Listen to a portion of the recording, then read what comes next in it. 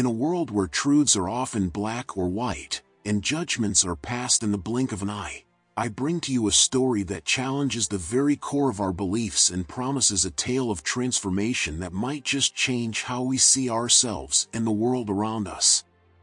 Our story unfolds in a time and place rich in tradition and ritual, in the bustling city of Jerusalem during the Feast of Tabernacles. This celebration, marking the end of the harvest season, filled the city with joy, gratitude, and a sense of communal unity. It was amidst this backdrop that Jesus found himself, not just as a participant but as a beacon of wisdom, teaching and engaging in profound dialogues with those who gathered around him. The temple in Jerusalem, a place of immense significance, became the stage for our tale. Here, Jesus taught, his understanding of the scriptures leaving an indelible mark on all who listened. His words, laden with depth and insight, echoed off the ancient stone walls, captivating the minds and hearts of his audience. However, the serenity of this scene was abruptly shattered when a group of religious leaders burst onto the scene, dragging along with them a woman caught in the act of adultery. The air thickened with tension and anticipation as the crowd realized the gravity of the situation. The law was clear and unforgiving regarding such transgressions. Yet, there was a glaring omission in this scene of judgment. The man involved in the act was nowhere to be seen, raising whispers of injustice and partiality among the onlookers.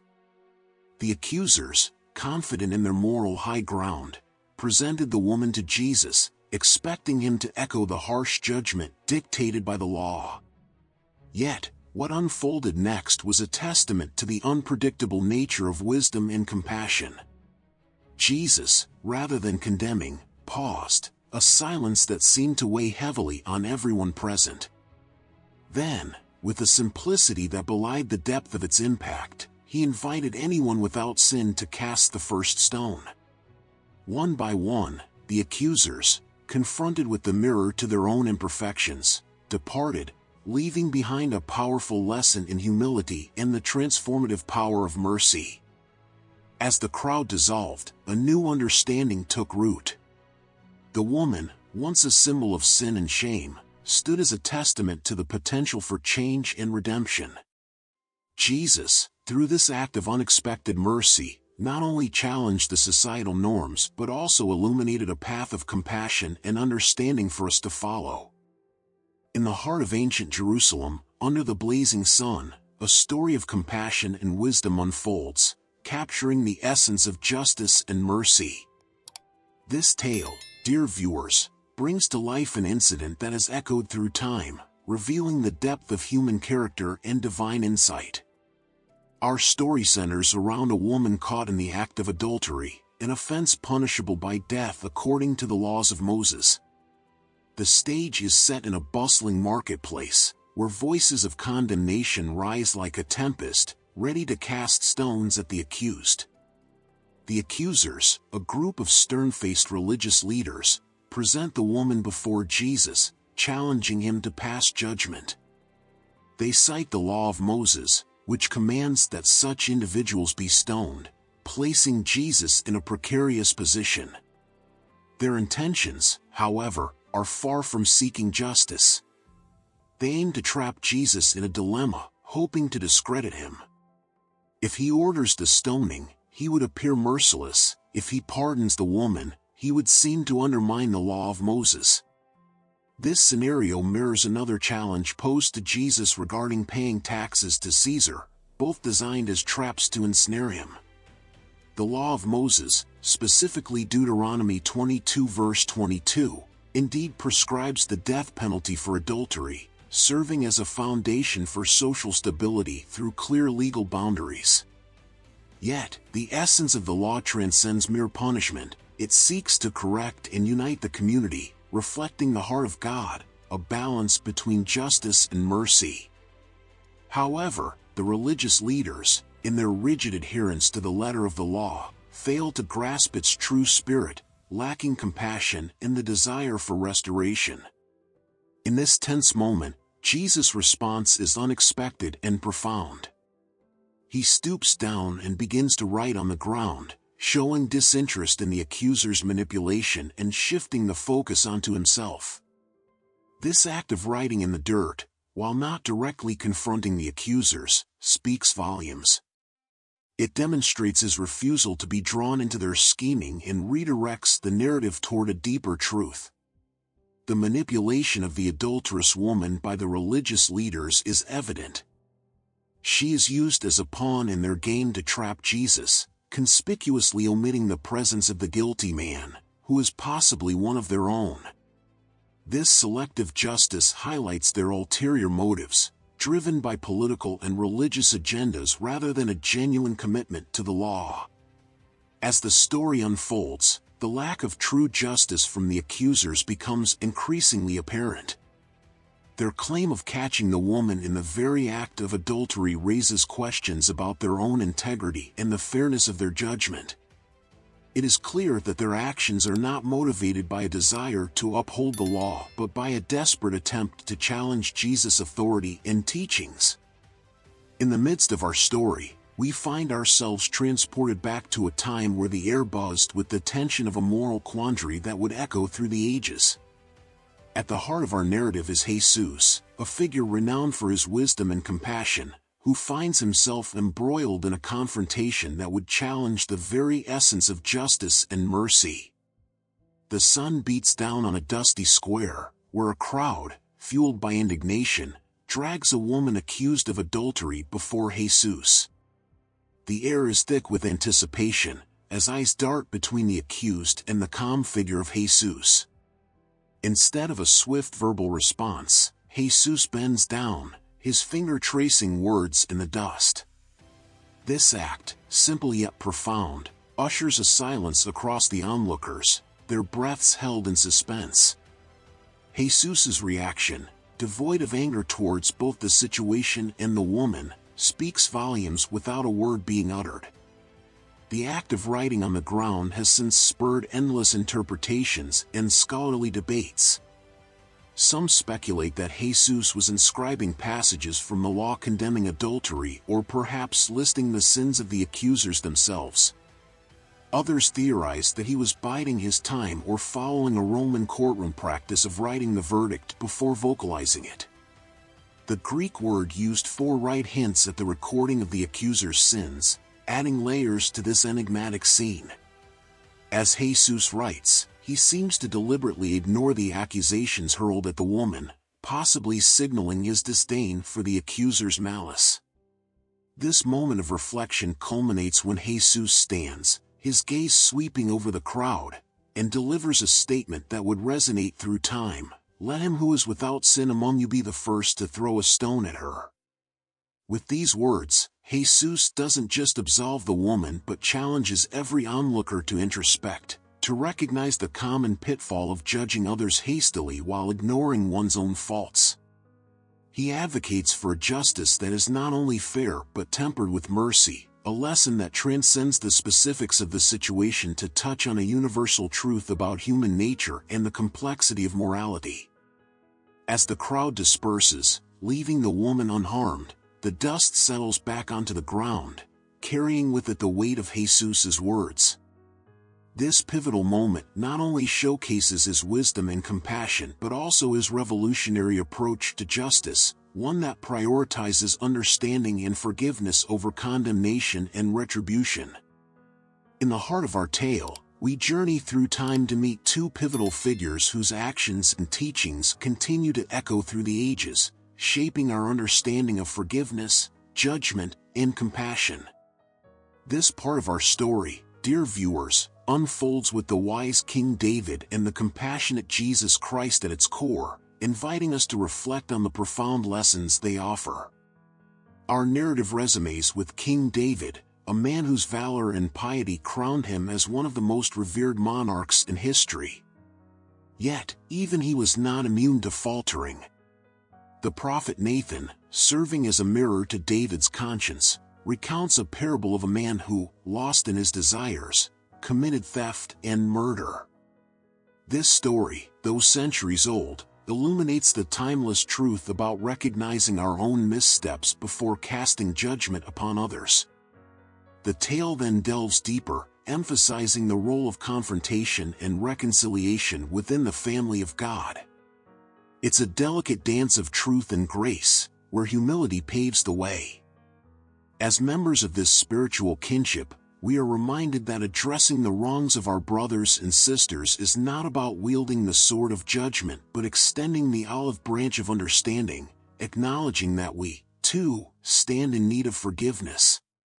Transitioning from the Old Testament to the New, we find Jesus in a tense confrontation. A woman, accused and exposed, stands before a crowd thirsty for retribution. Yet, in this climactic moment, Jesus embodies the serenity of justice. He does not engage the accusers with harsh rebuke or stoke the flames of their anger. Instead, he diffuses the situation with a wisdom that shields the woman's dignity and safety, showcasing a revolutionary approach to dealing with public shame and accusation. In a society where shame often lingered like a shadow, Jesus introduced a radical concept, Shame serves a purpose only if it leads to transformation, not as a perpetual burden. His compassionate stance not only quells the immediate thirst for punishment but also prompts a profound introspection among the accusers. One by one, they retreat, faced with the mirror of their own imperfections. The culmination of this episode is both tender and transformative. Jesus, with kindness and forgiveness, addresses the woman. There is no condemnation in his words, only the offering of a new beginning. This moment, where Jesus and the woman are left alone, is a powerful depiction of divine mercy in action. As the author of this tale, I invite you, the viewers, to ponder these narratives. In the actions of David and Jesus, we are called to reflect on our own lives. How do we confront wrongdoing in ourselves and others? Do we lead with judgment, or do we extend grace? The lessons from these ancient stories resonate with timeless relevance, challenging us to embody compassion and understanding in our own lives. And so, as Jesus walked through the bustling streets, he stumbled upon a scene that would forever etch itself into the annals of history. A woman, shrouded in the shadow of shame, stood before a throng of accusers, their eyes blazing with righteous indignation, stones clenched tightly in their hands, ready to cast judgment upon her. But Jesus, with compassion flooding his gaze, intervened in this cruel spectacle. With a voice that carried the weight of ages, he asked where her accusers had vanished. And in a voice barely above a whisper, the woman confessed that none remained to condemn her. In that moment, Jesus, the epitome of mercy, declared that he too would not cast the stone of condemnation upon her. Go, he commanded, and sin no more. Imagine the flood of emotions that must have coursed through her veins at those words, a love and acceptance so profound, it defied comprehension. For in that instant, she experienced a grace so profound, it shattered the shackles of judgment that bound her. And yet, in this act of forgiveness, Jesus did more than merely spare her from the wrath of the crowd. He assumed her guilt, taking upon himself the burden of her sins, despite being the only one among them without fault. In finding refuge in the connection with Jesus, she found deliverance from the hasty judgment of the crowd. And though Jesus acknowledged her sin, he also offered her hope, hope for a new beginning, a chance to rewrite the narrative of her life. For the woman, this hope was a lifeline, a beacon in the darkness, for the consequences of her actions could have been dire indeed. Excommunication from her community, rejection by her husband, these were the potential outcomes she faced. Yet, in this moment of divine intervention, she found not only forgiveness but also the promise of redemption. Her story, a testament to the kindness and forgiveness of Jesus, underscores the transformative power of empathy and compassion in the human heart. It serves as a poignant reminder that no one is beyond the reach of salvation and that the mercy of God can indeed change lives. Just as it did for Mary Magdalene and countless others throughout the ages, sinners redeemed by the boundless grace of a loving God. In the bustling streets of Jerusalem, amid the dust and the clamor, there existed tales that stirred the souls of those who dared to listen. And among these stories, there was one that shimmered like a jewel in the sun, a tale of love, redemption, and the boundless mercy of a higher power. Picture this, Juana, the wife of Herod's administrator, and numerous others, tormented by demons, their hearts heavy with burdens. But then, like a gentle breeze through a parched land, the love of Christ touched them, soothing their anguish, healing their wounds, and granting them solace. Transformed by this divine encounter, they embarked on a sacred mission, dedicating their lives to spreading the message of God's kingdom. They understood then, as we do now, that the divine seeks not to condemn but to uplift, to offer redemption instead of punishment. Consider the broken jar, shattered and scattered. Yet, through the hands of the divine, it is pieced back together, restored to wholeness. Such is the essence of redemption, exemplified in the story of the woman forgiven by Jesus. Ah, but it does not end there. For Jesus, in his infinite wisdom and compassion, does not merely save the adulterous woman from the clutches of condemnation. No, he offers her something far greater, a chance for a new beginning, a path to mend the fabric of her troubled life. And so, the message resounds across the ages, no matter the depth of one's transgressions, a brighter future awaits. Even the saints, who once stumbled in darkness, were illuminated by the mercy of God. In exploring these tales of transformation, we uncover the profound implications of divine mercy for all humanity. Jesus, the bridge between justice and kindness, upholds the law but challenges us to examine our own hearts before casting stones. Indeed, the story of the adulterous woman reminds us of the paramount importance of mercy over mere justice. It is mercy that transforms, guiding us toward love, righteousness, and ultimately, redemption. For as it is written in Romans 3 verse 23, all have sinned and fall short of the glory of God. None are exempt from imperfection, yet all are worthy of grace and forgiveness. Thus, the story of the adulterous woman transcends mere narrative.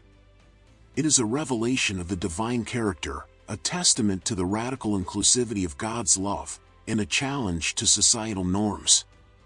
And so, as the accusers fade into the shadows, leaving the woman alone with Jesus, we witness the ultimate act of compassion. For though he alone is qualified to judge, he chooses not condemnation but mercy. In this, we find hope. In this, we find redemption. And in this, we find the enduring power of love to transform even the most broken among us.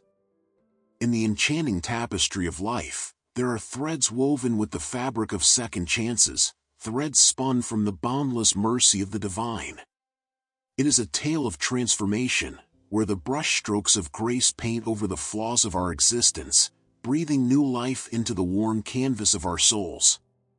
As the author of our own stories, we often find ourselves stumbling through the chapters, seeking redemption in the pages of tomorrow.